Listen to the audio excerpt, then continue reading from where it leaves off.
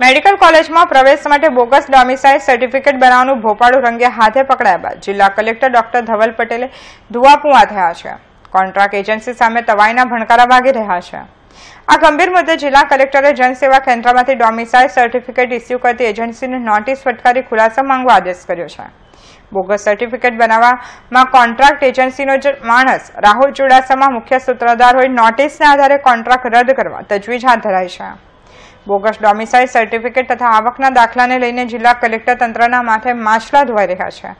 પહેલા હજારોની સંખ્યા આવકના બોગસ દાખલા મળી આવ્યા બાદ હવે કાયદાની એસી તહેસી કરનારાઓ દ્વારા ડોમિસાઇલ સર્ટિફિકેટ પણ બોગસ બનાવી આપી રૂપિયા પડાવવામાં આવ્યા હોય કલેક્ટરે કડકાઈથી કામગીરી લેવાનું શરૂ કર્યું છે.